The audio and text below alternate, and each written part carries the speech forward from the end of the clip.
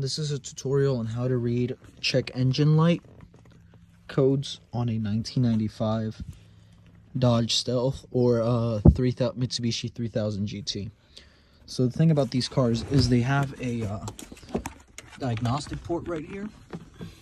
This one right here. And it seems to fit an OBD2, but it's actually a MUT2 system, which is like some kind of weird Mitsubishi made system, I'm pretty sure. And um uh connecting an OBD2 will not get you anywhere. You have to ground pin number 1 on the uh port so that your check engine light starts flashing. Otherwise, your check engine light just stays on, but it doesn't flash a code. So I'm going to show you how to do it.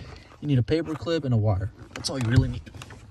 Get down here, look for pinhole number one. Be this one right here.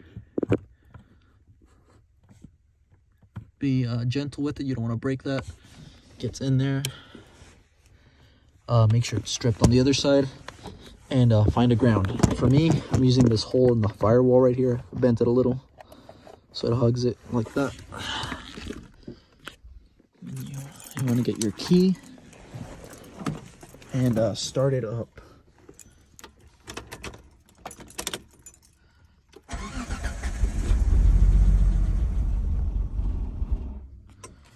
So, uh, mine has to be started up to give the codes because it's a code that only comes up when the car is on. But uh, I've got an issue right now. When it's hot, it won't stay on. So since I already had it on for a while, it uh, it's not going to stay on. But as you can see, my check engine light is now flashing codes. And the way you read this is uh, every long flash counts as a 10. So there we go. It's going to give three flashes. Those count as one. So my code is 53. It's going to restart then. It's one, two, three, four, five. And that's 50. And then three short ones. One, two, three. So the number is 53. That's my code.